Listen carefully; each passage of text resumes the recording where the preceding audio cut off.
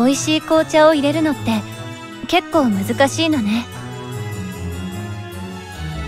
ええそうよ。